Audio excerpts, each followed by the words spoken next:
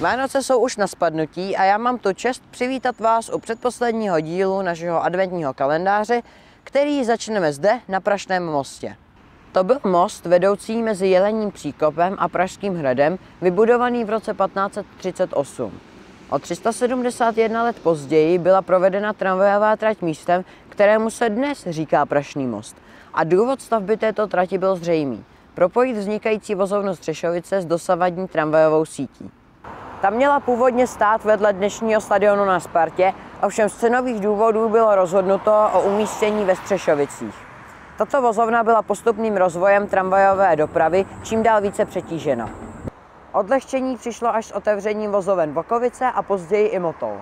Dnes Střešovická vozovna vypravuje několik pořadí linky 23 a také historické a speciální jízdy. Dále je zde i muzeum MHD. Aby mohly tramvaje z vozovny rovnou najíždět na trať u Pražského hradu, byla pro ně zřízena jednokolejná manipulační trať ulicí u Prašného mostu. Tato trať měla v horním úseku stoupání přes 10% což je dodnes rekord v celé historii tramvajové sítě v hlavním městě.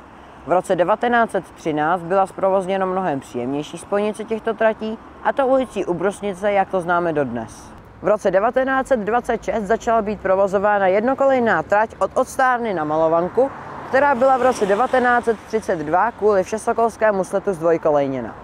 Ve stejném roce byla také otevřena trať z Odstárny na Ořechovku, čímž nám v tomto místě vznikla křižovatka podobná té dnešní. Celá trať mezi Prašným mostem a Odstárnou je dnes vedena prostředkem ulice společně s autobusy a mimo přetížené křižovatky se Svatovíckou ulicí a tunely zde tramvaje nenabírají velká spoždění. Dále mají tramvaje chvíli trať s otevřeným svrškem a ve stoupání Smyslbekovou ulicí sdílí uliční prostor s auty. Jezdí zde linka 25. Teď se vrátíme k trati z Odstárny na Petřiny.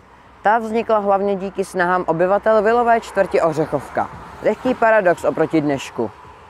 Trať byla prodloužena v roce 1938 kvůli potřebě napojení rozsáhlého komplexu ústřední vojenské nemocnice. A v roce 1950 byla opět prodloužena, tentokrát až na Petřiny.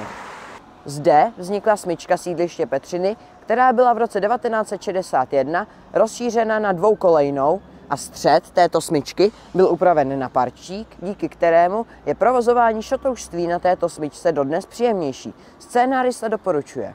Z Odstárny na Petřiny se tedy jedná o 3,6 km dlouhou trať vedoucí středem ulice po zatravněném svršku. Nachází se na ní sedm zastávek, přičemž na Petřinách se dá přestoupit na metro. Jezdí zde linky 1 a 2, přičemž jednička patří k této trati již více než 34 let.